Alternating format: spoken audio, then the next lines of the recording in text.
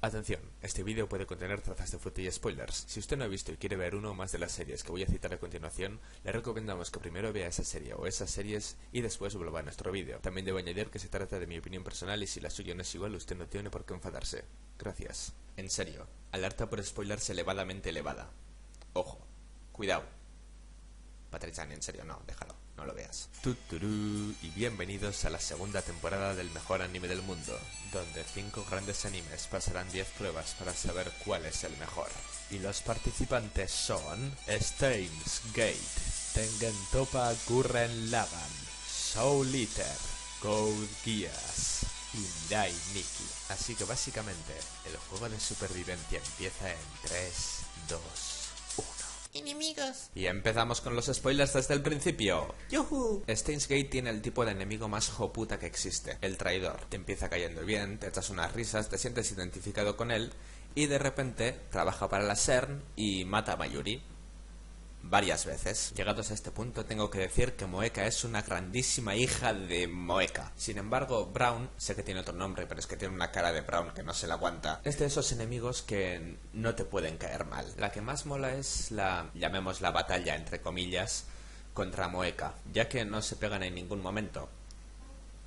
Casi. Pero lo que cuenta es que lo único que Kyoma tiene que tratar de destruir es esa burbuja que Moeka se ha creado alrededor de ella. Es decir, Moeka se ha aislado ella sola del resto del mundo y Kyoma tiene que conseguir que ella confíe en él. Brown, claro está, es más fuertote, más machote, tiene más fuerza que Kyoma, entonces él opone más resistencia. Así que básicamente son cuatro palabras bonitas y se pega un tiro. El único enemigo que supone una violencia real es el padre de Kurisu.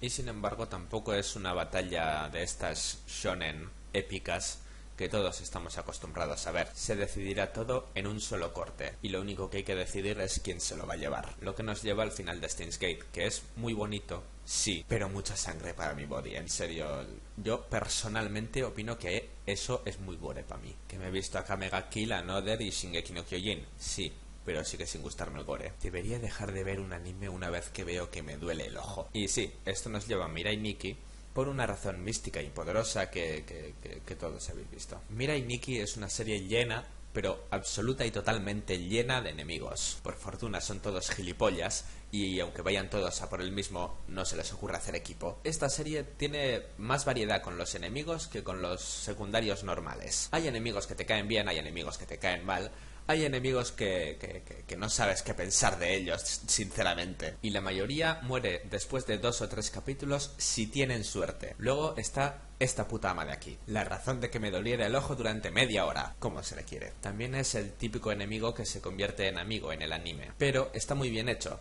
No es como en Dragon Ball, por ejemplo, que hacían como ¡Oh! A la gente le gusta este personaje. Vamos a mantenerlo siendo amigos sin ninguna explicación razonable. Sí, seguramente la razón principal de que sobreviviera hasta el final de la serie es que gustaba a los fans. Pero, pero, pero, pero, su conversión de enemiga a amiga no es totalmente random, tiene sentido. Por otra parte, eh, he dicho ya que es la puta ama. Y en esta serie también hay traidores, dansemos. Sin embargo, el darnos cuenta de que esos personajes eran malos no supuso ninguna revolución. La ayudante de Deus Ex Machina simplemente no es un personaje que saliera mucho. En sus pocas apariciones no da tiempo para que te caiga bien, así que su traición sorprende, pero no parte el cocoro. En cuanto a Juno, que concedo que no es realmente una traición, que va a matar a Yuki, pues sí, pero en su mente retorcida las cosas funcionan así. Básicamente la gente a la que os caía bien Juno ya sabíais que era una psicópata desde el principio, así que básicamente esa lógica hijoputesca es lo que esperabais de ella. Seguramente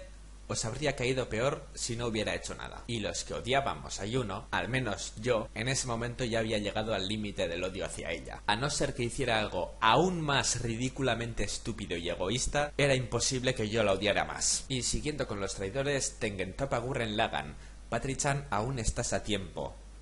Vete cerrando la página, te estoy dando tiempo para que lo hagas, hazlo. Venga, cierra la página, por favor es para que no te spoilee yo. ¿Ya la has cerrado? Bien. Siempre he pensado que esta serie se parece bastante a Kill la Kill. Al principio hay enemigos muy tópicos, cada uno es más fuerte que el otro, aunque todos se creen más fuertes que todos los demás, y hay un jefazo putazo que lo controla todo, y que obviamente es el más fuerte. Ese jefe es derrotado a mitad de serie, aunque Satsuki realmente no es derrotada por Ryuko, pero bueno, después de esto viene la trama complicada y los enemigos que valen la pena mencionar. Y estos son los traidores, Nia, que no es realmente ella, y Que sí es realmente él, y es otro hijo de la grandísima Moeka. En serio, el asco que le cogía a ese chaval en esa parte de la serie no es ni medio normal. A Nia se la sigue queriendo. La culpa es de los antiespirales por ser tan hijos de puta, digo de Moeka, de inducirle el trance o lo que coño fuera eso, justo en el momento en el que se iba a casar con Simón. Y los antiespirales sé que tendría que hablar de esto en el vídeo de dibujo, pero por favor, el diseño de los antiespirales, ¿qué coño es eso? Me hace llorar sangre. Básicamente son una raza alienígena mucho más evolucionada que los humanos, a la que le parece bien hacer el Cyberman, que viene siendo eliminar todos los sentimientos para conseguir vamos a llamarlo una forma inmortal y mucho más capacitada para la guerra. Y ahora se dedican a eliminar toda raza que supere cierto nivel de inteligencia o de población para asegurar su propia supervivencia. Recordad, niños, si alguien amenaza con ser tan inteligente como vosotros, matadlo. Lo que voy a decir a continuación no va a dar ni quitar puntos, pero tengo que mencionarlo. Un día de estos que yo me aburría y estaba leyendo una página conspiranoica, bueno, conspiranoica no, era bastante científicamente argumentada.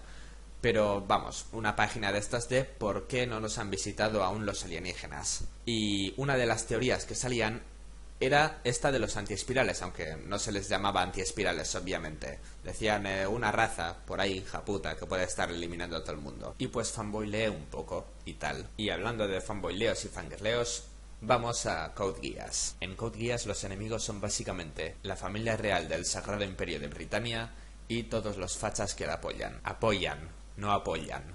Apoyan es otra cosa. Si abrazar es rodear con los brazos, apoyar es, bueno, ya, basta. Hay muchos enemigos en Code Geass y obviamente también están los traidores. Ahí está la madre de Lulus, de la que todos teníamos la misma imagen que tenía Lulus. Básicamente creíamos que era una señora Weasley rica y delgada y morena, muy importante el detalle del pelirrojismo Weasley, que había muerto hace mucho tiempo, y al final resulta que está viva y que es una hija de Moeka. Hay que decir que Lulus tarda bastante poco encargarse al enemigo principal, que es su padre, junto a su madre. Pero después de eso hay aspirantes al trono. Lulus debe enfrentarse a su hermano como siempre lo ha hecho, en una épica partida de ajedrez estelar. Pero esta vez, a diferencia de con los enemigos anteriores, se menciona el detalle de que Lulus nunca ha vencido a su hermano en una partida de ajedrez, y aún así es capaz de convertirlo en una batalla igualada entre dos grandes estrategas. Cuando Lulus se convierte en emperador, todos los personajes se vuelven contra él, así que básicamente todos son enemigos en ese momento. Excepto el Sosainas este, al que se empeñaron en poner como a su digno rival. En ese momento, Susaku sigue sin ser realmente amigo de Lulus, pero vuelve a estar de su parte. Aunque todos sabemos que Susaku es un mierdas, tiene un punto a su favor, y es que en ese momento era lógico que se pusiera de parte de Lulus. Es decir, no lo pusieron de amigo randommente, aunque sí que tiene algo más de randomidad que la novena, pero bueno. Y nos queda Soul Eater. La enemiga principal en Soul es esta hija de Blair. Si ves Soul Eater, te aseguro que vas a odiar a Medusa. Lo cual está bien, porque así te mola más cuando atraviesan su puta cara con una guadaña. El problema es que Medusa no se muere. La muy puta sobrevive a la serie. En serio, después de esta escena Medusa tendría que estar muerta. Y lo sabemos todos. Y también, ¿qué es eso de la bruja kung fu?